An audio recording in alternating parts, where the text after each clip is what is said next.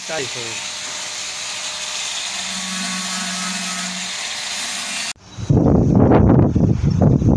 ये माशाल्लाह जी फिर नज़र भी नहीं आ रहा है इसकी स्पीड देखें आप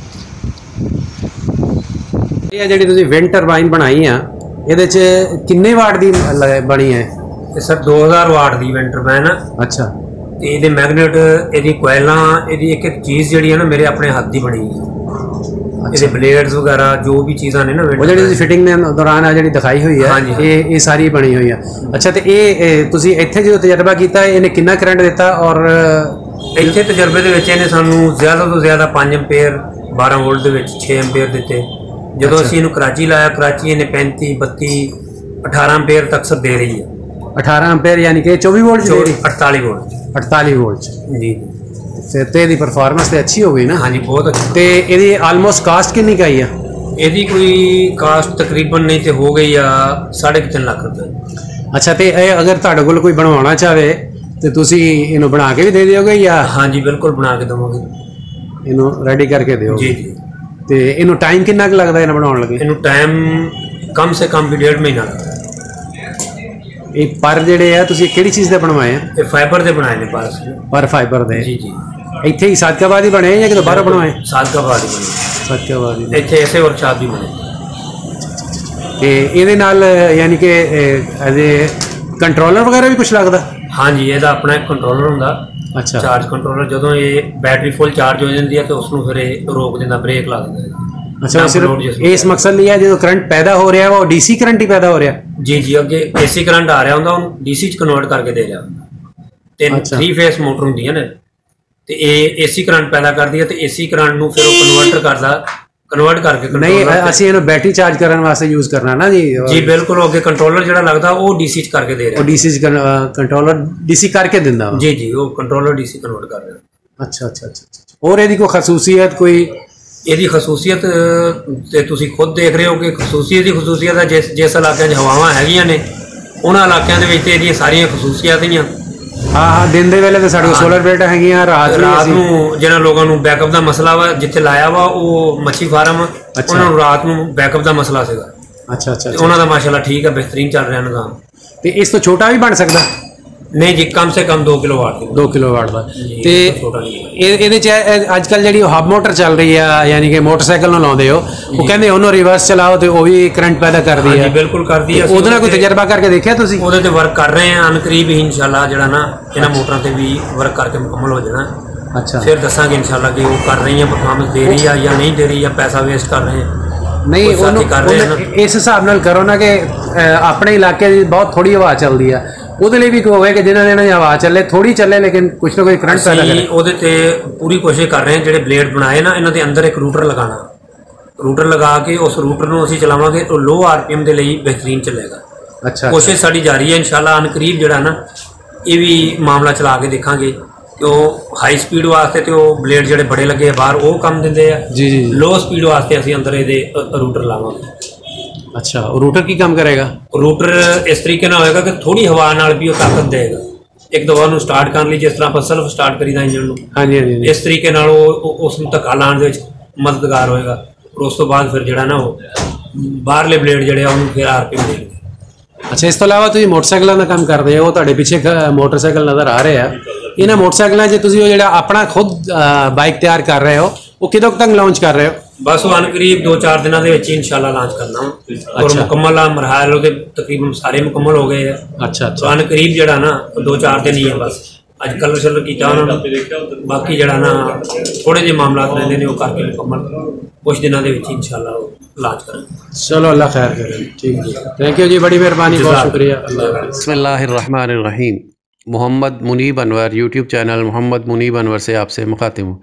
जैसा कि जावेद भाई ने आपको बताया कि वो एक इंतहाई सस्ता और मुनासिब इलेक्ट्रिक बाइक ख़ुद तैयार कर रहे हैं अपनी वर्कशॉप में और उसमें उनका मकसद सिर्फ़ और सिर्फ़ आवाम की या स्टूडेंट्स के लिए एक सस्ती सवारी का बनाना है। वो इन चंद दिनों में आपको नज़र आ जाएगा और बाइक चंद दिनों में इन ताला ऑन रोड आ जाएगी। इसके अलावा वो एक जो है इलेक्ट्रिक कार भी बना रहे हैं, जो इंशाल्लाह बहुत जल्द, वीडियो तो उसकी सारी मुकम्मल हो गई हैं, उसका टेस्ट ड्राइव भी हो चुकी है और उसको इंशाल्लाह एक दो दिनों में अपलोड कर दिया जाएगा।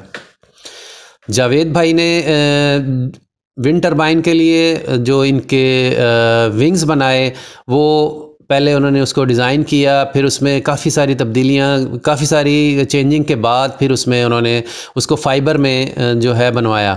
फ़ाइबर में बनवाने का मकसद सिर्फ़ और सिर्फ़ ये था कि वो उसको चाह रहे थे कि वो बहुत लाइट वेट बने और हवा से जितना मैक्सिमम हो सके वो हवा से घूमे।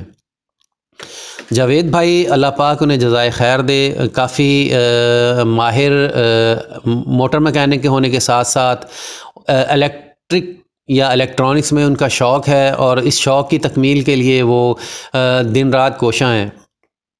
उनकी कोशिश होती है कि जितना भी उनका नॉलेज जो है उनकी नॉलेज से कोई भी जितना फ़ायदा उठा सके, वो कोशिश करते हैं कि उसमें उन जो भी उनसे फ़ायदा लेना चाहे, वो भरपूर दिलो जान से उसकी जो है मदद करते हैं। उसके अलावा काफ़ी सारा टाइम दिया। जैसा कि जावेद भाई ने बताया कि इसमें ये जो विंड टरबाइन उन्होंने बनाई, उसमें उन्होंने कोयल्स उसमें उसका तमाम किस्म का डिज़ाइन जो भी था, उसको पहले उन्होंने ख़ुद डिज़ाइन किया, फिर उसको बनाया। बनाने के बाद फिर उसको अच्छे तरीके से चेक किया कि ये लो आर पी एम पे कितना करंट निकाल रही है। उसके बाद इसमें जो है जो अब अगर इसको थोड़ी स्पीड दें, उसके हिसाब से ईच एंड एवरी थिंग उन्होंने चेक की चेक करने के बाद उन्होंने फिर इसको इसमें क्योंकि ये B B L D C motor होती है। B L D C motor में ये खासियत है कि इसको अगर आप आ, आ, उसमें उसको अगर आप सीधा चलाएँ तो वो आपको मोटर का काम देती है। अगर उसको उल्टा चलाएँगे तो वो करंट पैदा करती है। उन्होंने इसको अच्छे तरीके से टेस्ट करने के बाद इसकी हर चीज़ को चेक किया। फिर उसके बाद उन्होंने कराची भिजवाया। कराची में जब उन्होंने इनके जो मोज़ कस्टमर थे, उन्होंने इंस्टॉल किया तो वो काफ़ी मुतमिन थे। उन्होंने फिर वहाँ पे उसको इंस्टॉल करने के बाद हमें एक छोटी सी वीडियो बनाकर भेजी, जिसमें उन्होंने हमें बताया कि ये जो है, इसमें कितने एम्पेयर और किस तरह का जो है करंट आ रहा है। और उसमें उन्होंने हमें इस वीडियो में बताया देखें आए हम आपको दिखाते हैं कि उन्होंने उसमें आ, कितने एम्पेयर और अड़तालीस वोल्ट में 18 एम्पेयर के करीब करंट जो है आ, रात में प्रोड्यूस हो रहा था या दिन में किसी भी वक्त जब भी वो चलाते थे या इसमें विंड में चलता था तो इसमें आता था करंट माशाल्लाह ये देखिए ये कराची में इंस्टॉल किया और माशाल्लाह बड़ी अच्छी परफॉर्मेंस है इसकी। इसकी स्पीड देखें आप। ये भाई की बात सुने।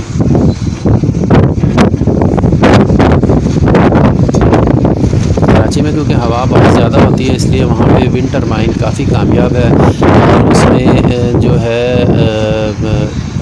दिन के वक्त तो सोलर पैनल्स होते हैं लेकिन रात में जो है वो विंड टरबाइन वहाँ पे काफ़ी ज़्यादा कामयाब है, इसलिए उन्होंने विंड टरबाइन ही लगाई। दिन में भी हवा होती है, रात में भी काफ़ी खासी हवा होती है तो उसकी वजह से उनका जो है मामला जो है काफ़ी बेहतरी से चल रहे हैं।